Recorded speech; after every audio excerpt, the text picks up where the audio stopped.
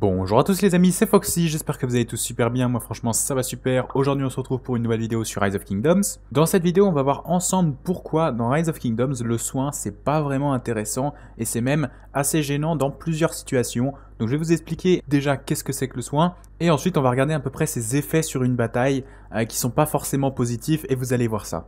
Donc déjà dans Rise of Kingdoms, pour ceux qui ne savent pas, il y a des commandants, il y a des talents, euh, il y a des choses comme ça qui peuvent vous donner en fait des effets de soin. Donc vous en avez plusieurs, par exemple Richard c'est euh, l'exemple parfait pour parler du soin parce que c'est celui qui a le soin le plus euh, énervé on va dire du jeu. C'est vraiment lui qui a le soin le plus puissant.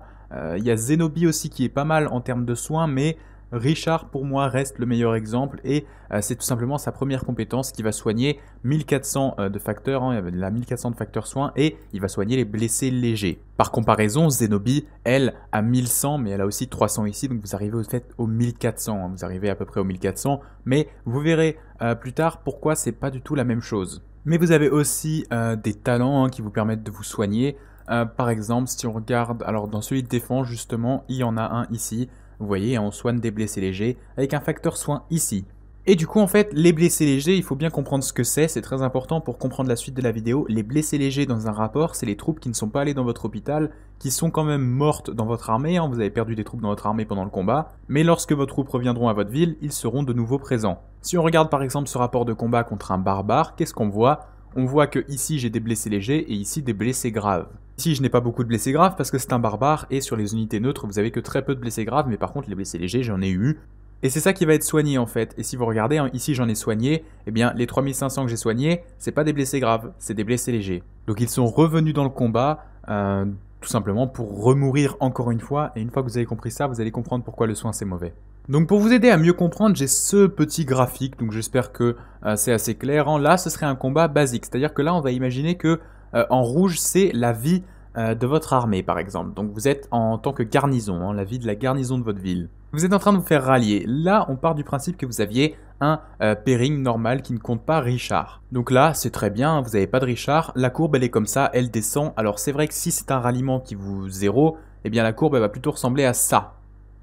C'est-à-dire qu'elle va commencer comme ça, mais au fur et à mesure que le temps passe, les joueurs vont renforcer leur aliment, alors que vous, votre ville, personne va la renforcer. Donc au fur et à mesure du temps, vous aurez de moins en moins euh, de bons trades. Maintenant, si vous utilisez Richard, par contre, ça change cette courbe. Pourquoi? Eh bien parce que chaque fois qu'il va faire sa compétence, il va soigner des troupes, et donc il va en faire revenir dans le combat. Donc la taille de votre ville va à chaque fois revenir un petit peu avant. Pas quelque chose d'incroyable, mais quand même revenir avant. Ce qui fait que dans le temps, la courbe va s'arrêter plus loin et pas euh, au même niveau que l'autre ici. Ce qui fait que si le combat a duré plus longtemps, eh bien vous risquez d'avoir beaucoup plus de blessés graves et de morts. Pourquoi? Parce que je vous ai dit que le soin la plupart du temps ça soignait les blessés légers. Et qu'est-ce qui se passe si vous soignez les blessés légers? Eh bien, ils reviennent dans le combat, on est d'accord, mais du coup, qu'est-ce qui se passe? Eh bien, un pourcentage d'entre eux redevient des blessés légers, c'est vrai, mais un pourcentage d'entre eux plus faible devient des blessés graves. Et du coup, au final, vous faites durer le combat en ramenant des troupes, et en gros, vous, nourrissez l'adversaire. Parce que l'adversaire, lui, il a toujours son ralliement qui tape, il s'en fiche, mais par contre, vous, vous venez rajouter des troupes à chaque fois. Ces troupes-là, qu'est-ce qu'elles font? Elles combattent, mais un pourcentage d'entre eux deviennent des blessés légers encore une fois, et des blessés graves, et vous faites durer le ralliement, qui continue à taper toutes ces troupes qui arrivent fraîchement dans votre ville. En gros, vous faites durer le temps, et c'est pas bon du tout lorsque vous faites rallier votre ville. Ça, c'est la logique derrière l'exemple flagrant qui vous explique pourquoi il ne faut pas utiliser Richard dans une garnison de ville, de drapeau, de forteresse d'alliance, de ce que vous voulez, même de ralliement, mais par contre, sur l'open field, c'est différent parce que en KVK saison 1, le, soin en fait il est puissant, c'est-à-dire que personne ne peut rivaliser avec ça. En KVK saison 2, c'est différent parce que là on a quand même des commandants qui peuvent contrer ce soin. Ensuite, Richard devient complètement obsolète donc c'est pas vraiment intéressant, mais par contre, il restera très intéressant pour les barbares, et vous avez vu pourquoi, les barbares, ils ne font que très peu de blessés graves, donc à chaque fois vous soignez les blessés légers, mais tant mieux puisque c'est la majeure partie de ce que vous avez lorsque vous combattez des barbares. C'est pour ça que ça reste très intéressant à ce niveau-là. En outre du fait du coup que le soin nous permette de faire du chain pendant longtemps et ce genre de choses. Mais là vous allez me dire une chose. Vous allez me dire oui mais tu nous as montré en début de vidéo que Zenobi avait aussi un soin puissant. Du coup la question que l'on peut se poser c'est pourquoi Zenobi arrive à trade aussi bien alors qu'elle a un facteur de soin quasiment égal à celui de Richard? Eh bien la réponse elle est toute simple. Lorsque Zenobi fait son soin, c'est pas du tout handicapant, c'est-à-dire que c'est une garnison qui fait déjà très mal, c'est une garnison qui est très puissante. Et une garnison, la plupart du temps, vous allez la laisser remplie, vous allez la renforcer à chaque fois. Donc le soin, il peut peut-être faire durer le combat, mais le combat allait durer quoi qu'il arrive, donc il n'y a pas vraiment de différence. Vous avez en plus le bonus de santé et encore plus de bonus de santé à la troisième compétence qui rajoute et limite le nombre de blessés graves et de morts en fait que va subir ce commandant.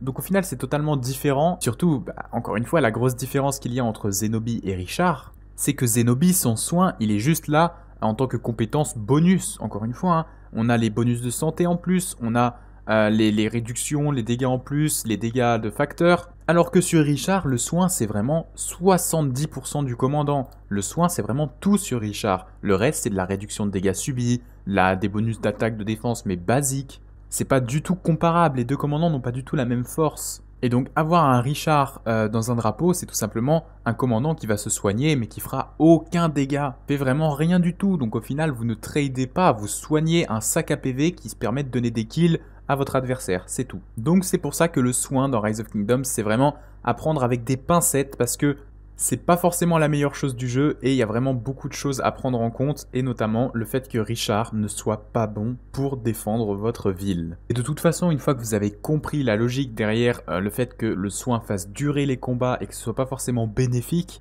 eh bien vous avez compris euh, tout le système de soins et pourquoi euh, c'est problématique. Le soin, ça donne une fausse impression de victoire alors que par exemple Richard va soigner ses troupes, mais ça ne veut pas dire qu'il va forcément trade positif face à son adversaire. Vous pouvez totalement avoir un combat entre un Richard et euh, un commandant aléatoire et que Richard gagne ce combat à l'usure, mais au final dans le rapport de combat, vous verrez que euh, le commandant qui est mort avant Richard avait fait beaucoup plus de dégâts au Richard que l'inverse. En conclusion de cette vidéo, n'utilisez pas Richard pour les choses importantes, gardez-le pour l'open field très tôt dans les petits KVK et euh, aussi pour faire votre chain de barbares, mais n'abusez pas de son soin pour défendre votre ville, pour défendre des drapeaux, pour rallier des villes, pour rallier quoi que ce soit. Vous allez juste vous faire du mal en faisant durer les combats, en vous donnant plus de blessés graves, plus de morts des fois.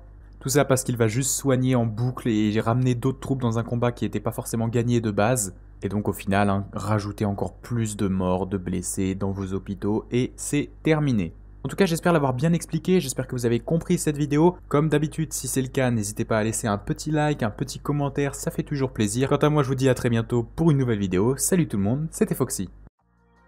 Si la vidéo t'a plu, n'hésite pas à t'abonner à la chaîne et à activer la cloche des notifications, ça m'aide énormément et je t'en remercie. Tu peux aussi aller jeter un coup d'œil à ma chaîne secondaire Foxy Battles sur laquelle je poste régulièrement des replays d'Arc d'Osiris et de KVK.